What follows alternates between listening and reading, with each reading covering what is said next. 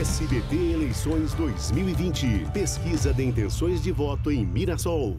A Sinfor, Consultoria e Pesquisas, divulgou o levantamento de intenção de votos para a Prefeitura de Mirassol.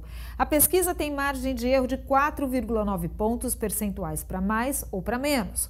O nível de confiança é de 95%, ou seja, levando em conta a margem de erro, a chance da pesquisa retratar a realidade é de 95%. Veja.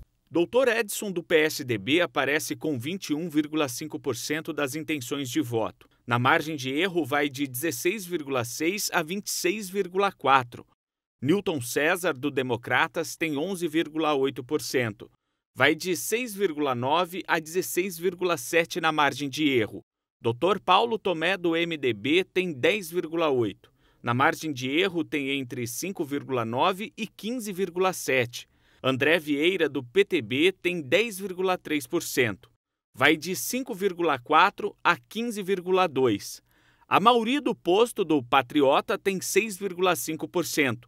Na margem de erro fica entre 1,6% e 11,4%. Marcão Alves, do PP, aparece com 4,8%.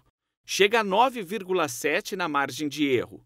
Tiago Barbosa, do PSC, atingiu 4,3% vai até 9,2% na margem de erro. Brancos e nulos somam 9,5%. Não sabem e não opinaram são 20,8%. A Sinfor também quis saber o índice de rejeição, ou seja, em quem os entrevistados não votariam. Vamos aos números. André Vieira, do PTB, tem rejeição de 24,8%.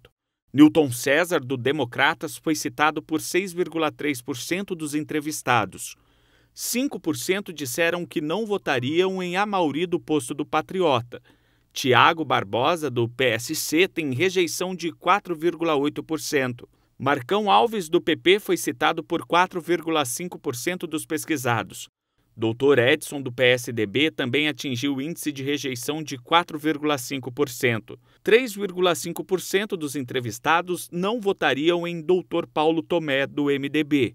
46,8% não sabem ou não responderam à pergunta. A pesquisa feita com 400 pessoas no dia 8 de novembro está registrada no TSE com o número 08017-2020. Saiba mais em sbtinterior.com.